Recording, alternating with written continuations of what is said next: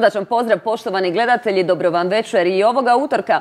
Dobrodošli u zapadnu stranu. Odmah ćemo krenuti sa temom, neću previše minuta krasti, bojim se da će nam biti malo vremena jer kad vidite o čemu se radi, vjerujem da će i vas zaintrigirati. Razgovarat ćemo sa gospođom Fatimom Tomičić, karmičkom analitičarkom i tumačicom sudbine. Dobro vam večer i dobro nam došli. Dobro večer, draga Ksenija, vama i svim našim gledateljima u ovom trenutku. E, hvala vam lijepo, hvala vam lijepo na odazivu i e, što ste došli. Za početak ja bih voljela da se vi e, našim gledateljima predstavite, iako ljudi koji znaju nešto o ovoj temi, ne vjerujem da za vas nisu čuli. ja sam Fatima Tomičić i kao što ste rekli, karmička sam analitičarka i tumač sudbine. Što u prijevodu znači da putem karmičke analize koju radim kroz egipatsku intuitivnu numerologiju dolazim do utvrđivanja e, problema, u stvari e, od čega ljude muče, što im, je, što im je u fokusu kao nekakva tegoba ili poteškoća i na osnovu te analize otkrivam i pronalazim rješenja za njih. Radim ovaj svoj posao radim već 23 godine, tako da sam e, već duboko u tome, nemam drugog smisla u životu osim svu svoju ljubav, svu svoju energiju, sve svoje znanje sam podredila i uložila ovaj posao i ovo zanimanje. Evo čuli smo kada je započela dakle vaša priča prije 23 godine, kako i zašto? Pa kao i kod svih drugih ljudi koji mi se obraćaju zbog, zbog problema, tako je počela i moja priča. Ja sam, e, to je bilo poratno vrijeme. Bila sam e, sudionik domovinskog rata, e, upoznala sam svog supruga. Ovo je sve samo kratke crte e, gdje se nismo dobro snašli, ni ja ni on, a posebno zato što smo imali teško djetinstvo i ja i on, jer on je, njegovi roditelji se rastavili kad je on imao dvije godine, a ja sam živjela u jednoj obitelji u kojoj je vladao puno alkohol, agresija, glama, buka i sve što uz alkohol, kocku i ostale ružne stvari ide. E, tako da e, jedno i drugo na neki način nismo bili odgojeni na način da razumijemo našu vezu, da razumijemo naš brak i da razumijemo e, odgovornost prema životu. Bilo je tu i sa njegovu i sa moju stranu dosta i alkohola, dosta agresije. Eh, već sam bila rodila svoju kćer eh, koja je eh, njen dolazak na svijet je samo još još pogoršo stanje jer nijedno nismo radili, dijete je trebalo prehraniti, uz to su dolazili i drugi problemi. Jednostavno uvatila me depresija. Depresija me uvatila još i prije toga jer sam od malena kak sam odrastala u toj nezdravoj obitelji, nezdravoj okolini imala puno problema sa anksioznošću, e, napad na pančnih strahova, onda uz to rat, ja sam bila mlada, svašta sam prošla, e, kao i svi drugi ljudi u, našoj državi i jednostavno e, sve je to uzelo danak u mom, u mom duhovnom i u mom fizičkom stanju. Liječila sam depresiju u, jednoj, u, Zadru konkretno u klinici e, nekoliko godina i uz sve ove bračne probleme jednostavno nisam vidjela izlaza i uvijek sam sjedala i pitala se jer sam završila medicinsku školu znala sam sjesti i pitati se kako jedna inteligentna osoba može toliko problema imati i ne riješiti. Najveći problem moj je bio što sam se osjećala nevoljenom otuda je nevoljenom i neprihvaćenom. I odatle je proizilazilo masu drugih problema, tako nisam vjerovala da me muž voli i ostalo. I moja tetka koja je iz Bosne, ona mi je rekla, predložila mi je, s obzirom sam se s njom čula često, znala je, bila je upućena u moje probleme, e, predložila mi je da odem kod jednog islamskog duhovnog učitelja, konkretno hođe, da me on malo pogleda. Mislim, što će meni hođa pogledat?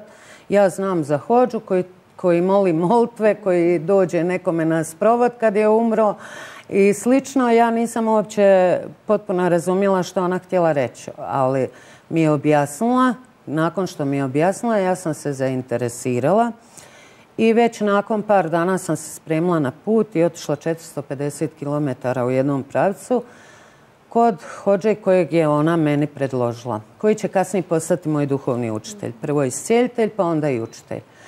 I tako je krenula moja priča. Kad sam došla k njemu, on je otvorio jednu staru knjigu i ispričao mi je život kao da je sa mnom živio. Rekao mi je gdje su problemi nastali u mom, obiteljskom stablu i kako se sve to odrazilo na mene i kako sam ja kasnije zbog toga na koji način živjela i kako sam dovedena u taj moment u kojem sam tada bila. I predložio mi je da dolazim na duhovno iscjeljenje uz prijedlog određenih alata koji su mu pomagali, uz molitvu, nada sve. I ja sam ovaj, gledala, slušala, plakala, bila sam pod teškim šokom, a posebno kad mi je rekao da li ti znaš da se predodređena da pomažeš ljudima. Ja kažem pa rekao, ne znam, rekao hođa, ali ja sam rekao dobra osoba i ja pomažem ljudima inače. Mislim, uvijek pomažem ljudima. Ne, ne, veli tako kako pomažeš, nego ovako kako ja radim. Jo, tad mi je pao mrak na oči zato što jednostavno u to je bilo nemoguće vjerovati u tom momentu i mislila sam da sam došla kod nekog fantazera, kod nekog e, najblaže rečeno luđaka.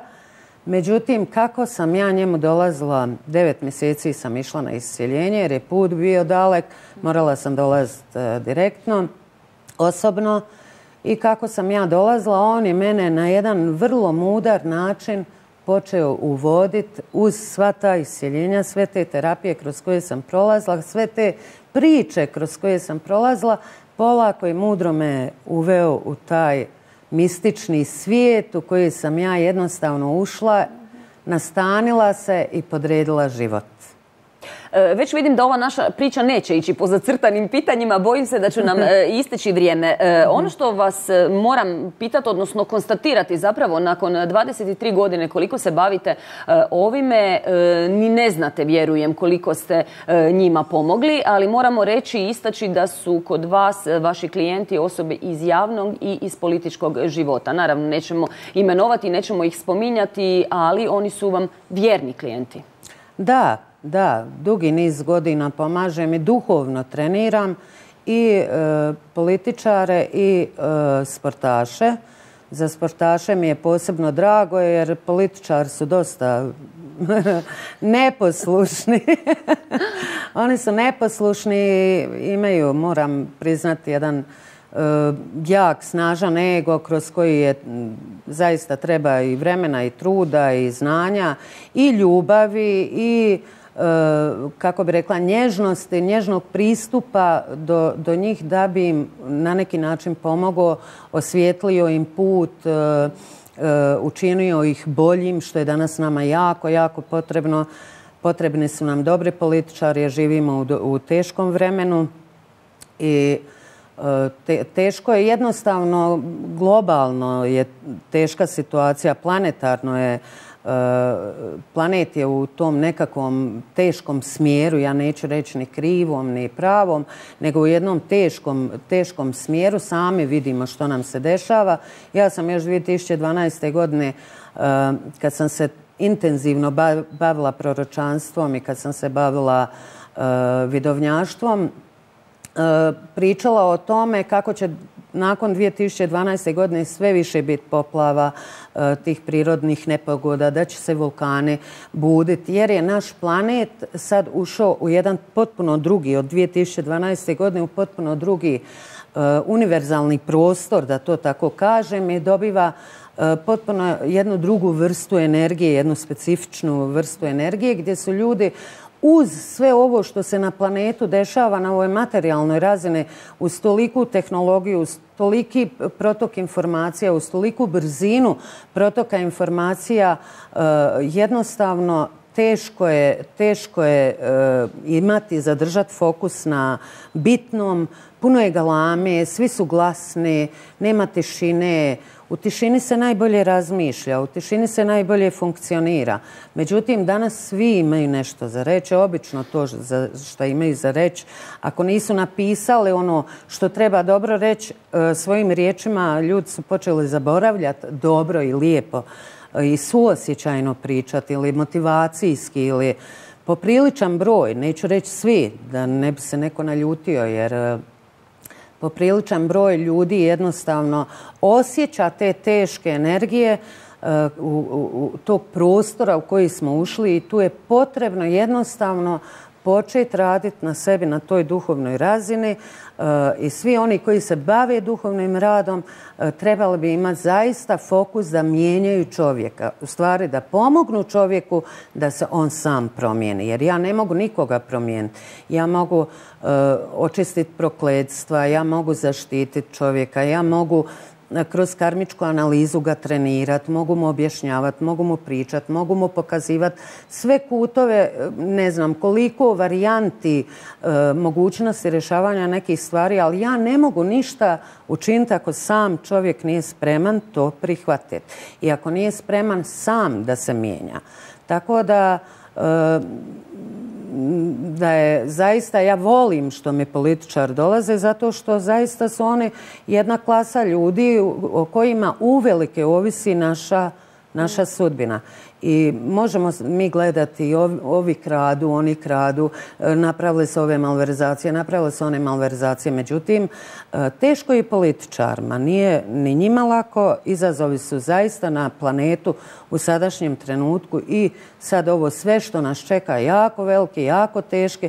Svi smo na kušnjama koliko ćemo se obdržati na toj dobroj strani ili koliko ćemo integrirati taj plus i minus da ostanemo ostanemo u ravnoteži. O tome, ali posebno volim sportaše. Moj najbolji prijatelj je, to mogu javno reći, zato što on uvijek kaže slobodno ti moje ime reci, je Daniel Šarić. On je e, među tri najbolja rukometna golmana na svijetu. Mislim da su on i Omajer dvojica najboljih. E, tako da s tim se ponosim jer sam njemu bila 12 godina. On je sad već pod navodne znake stari stari sportaš, trenutačno je u Katru, ali je ovaj 12 godina iza nas e, gdje smo mi zaista s puno i veselja i radosti trenirali njegov sportski put, ali na onoj duhovnoj strani da bi on došao na, tu, na taj level gdje dolaze najbolji. Jako mi je drago što osobito volite sportaši jer ja osobito volim e, sportaše. Koliko je bitno i važno prije nego što vam osoba dođe poznavati ju, odnosno mora li doći ili ono što je ključno i vi radite, jel tako, ne mora doći. E, znači, ja radim egipatsku intuitivnu numerologiju, karmičku analizu kroz egipatsku intuitivnu numerologiju. Što znači da se ja empatijom i intuicijom preko brojeva spajam sa ljudima i sa njegovim životom. Jednostavno, kad mi se neko obrati, ja mu kažem dajte popite čašu, smirte se malo, srce vam je ubrzano.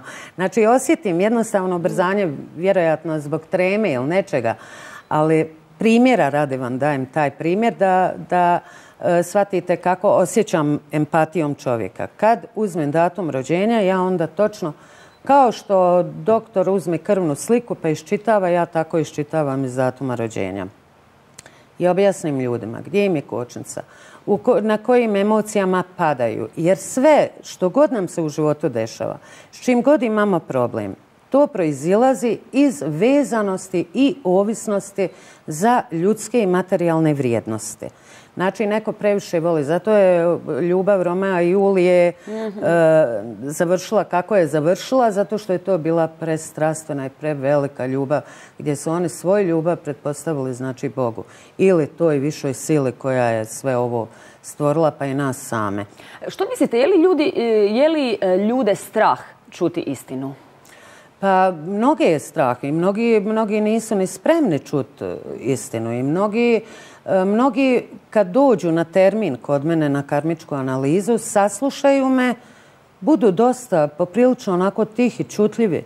I tek me možda za 15-20 dana ponovo zovu jer im je tek onda sjelo nešto što sam im ja pričala i gdje su uvidjeli da oni trebaju rješavati neke, neke te svoje uh, unutarnje stvari na, na, toj, na razini duše i na razini mentala i na razine osjećaja. Koliko daleko se ide sa tim, e, ajmo reći, pod navodnicima ružnim stvarima? U smislu koliko istine se kaže? Kažete pa, ja, sve ono što vidite. Ja ne tražim ružne stvari. Ja, nije karmička analiza ne služi za to. Ja tražim uzroke. Za posljedice zbog kojih se mene određena osoba obratila. Znači, tražim uzroke. A sad, da li su to uzroci da je ne, nečiji did ubio nekog susjeda ili, ili je ratovo pa je pa ubio vod vojske ili razumijete ili nešto drugo ili su pravili magijski da se nek, dvoje ljudi rastavi jer nisu bili za brak. To su nekakve te stvari o kojima ja pričam, mhm. otkrivam. E, ili ako se tiče konkretno, najbliže su nam roditelji. Obično pričamo o roditeljima, zato što roditelji e, se tiču nas konkretno. Naši problemi su e, Naši prvi zapravo Naši prvi, on su nam najbliži kanal odakle smo dobili. Oni su dobili sa kanala svojih roditelja, tako da ovaj, e, tražim te uzroke u ponašanju, u vezanostima, u ovisnostima i u odnosu e, u odnosu ljudi kakav su odnos imali prema životu. Da li ispravan ili pogrešan. Jer mi često puta mislimo da radimo ispravne stvari, da činimo sve za svoju djecu, okupamo ih u novcu, u autima, u e, skupoj markiranoj robi. Mislimo da za njih radimo i činimo sve najbolje. Međutim, mi često puta na taj način kvarimo karakter. Zato što sve snove koje oni trebaju za koje oni trebaju dati i uložiti energiju, mi smo ih proživjeli pa smo im dali i oni ne trebaju odašiljati energiju. Tako da ovaj, često puta budu i problematični i narkomani i ovisnici i e, događaju se teške nesreće saobraćajne baš jedinim tim sinovima. Govorim samo primjer. I nešto slično. Znači, to su te neke stvari o kojima ja pričam s ljudima gdje ovaj, na jednoj svjesnoj razini e, čupamo te probleme na sto, da to tako kažemo, onako sirovo i onda ih razvrstavamo. Ajmo sad Zapravo uvijek je najbitnije naći uzrok zbog čega se nešto događa. jer kad se otkrije uzrok, mhm. posljedica je sama po sebi, po sebi rješava. Meni, iako ja nisam zdrav, jesam završila medicinsku mhm. školu, ali nisam liječnik i nemam pravo pričati o zdravlju ali često puta mi se ljudi recimo potuže da imaju problem sa sinusima. Meridijani, meridijani mjehura završavaju sinusima. Ljudi trebaju liječiti mjehur ako misle liječiti sinuse. Primjera radi. Ima puno tih recimo znanja i logika koje treba otkriti u tom mom u toj mojoj analizi koju radim za ljude da bi se pronašlo i otkrilo otkrilo rješenje. Ali kad vi na svjesnoj razini vidite logiku, onda je samo na vama da počnete provoditi ono što je što, je, e, što sam vam pokazala kako i na koji mhm. način možete. Nekad je potrebno alati određeni da se otkloni određena energija kao smetnja ljudima, a nekad je samo dovoljno svjesna razina. Što mene recimo zaista ispunjava i usrećuje kad ljudi žele raditi na sebi. Ja sam za njih uvijek, uvijek dostupna. Znači, ljudi koji žele na sebi raditi, meni nije teško. E, ne znam, kuhat nakon završenog radnog dana i držati telefon ovako na ramenu i s njima pričati i davati im instrukcije ili objašnjenja. Ono što smo baš i prije govorili, zapravo to je taj i nekakav mentalni trening koji zapravo svakome od nas treba. Mentalni, e, e, mentalni trening, ali i mentalna higijena. Mhm, mhm. I mentalna higijena. Jer kad vam neko dođe i kaže tuf, tuf, tuf, tuf, tuf, a vi, vi, vi živite u tome godinama i ne možete, ne, neće da vam klikne. lako vam je onda poslije rad na sebi i poduzimati e, korake kako bi nam život bio lakši. Jer ovaj život je težak. Ovdje se sve mjeri koliko je nešto teško. Ovdje se ne mjeri, ne, nećete me pitati koliko sam laka, nego koliko sam teška, jel tako? Tako je za sve druge stvari.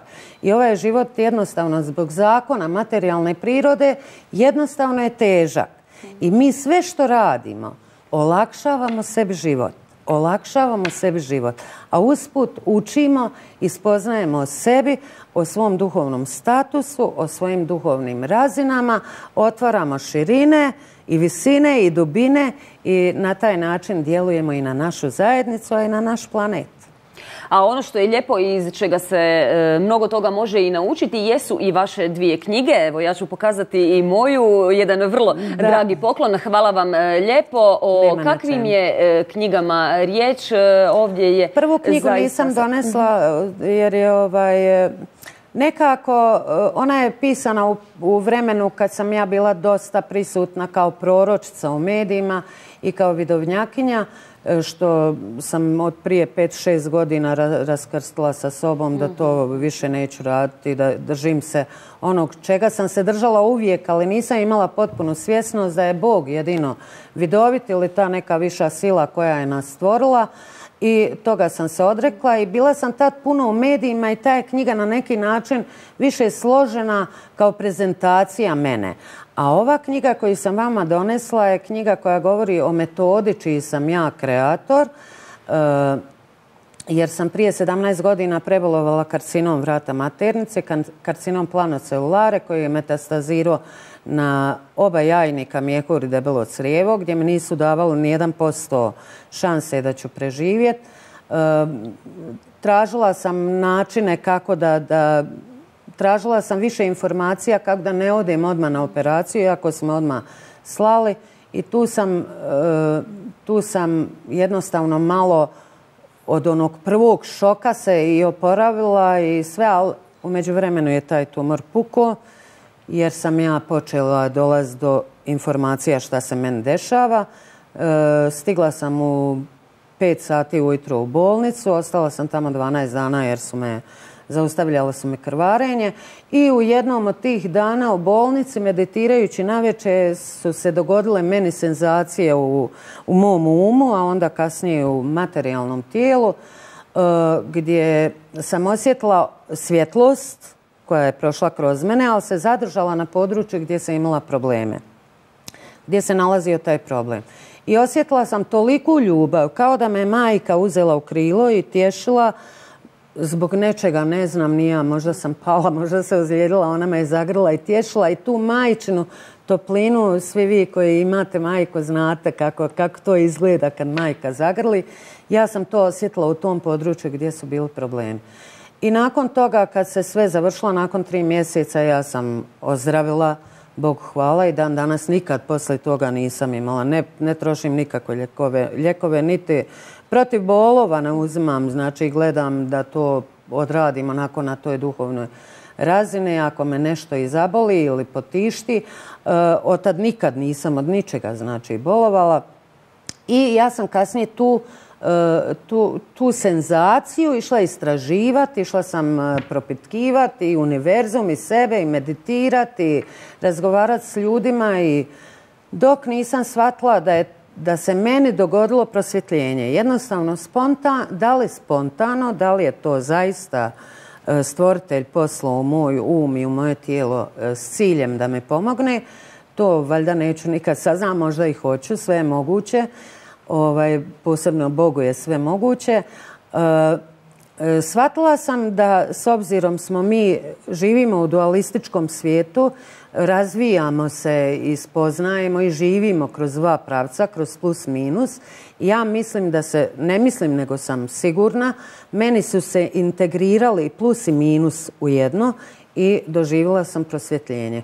Kako god sam doživjela prosvjetljenje, moji kanali su se otvorili i meni je počela energija direktno sa izvora odakle mada duša doptovala moje tijelo, direktno sa izvora sam počela primati energiju koja mi je osigurala preživljavanje, ali i isciljenje, to jest ozdravljenje.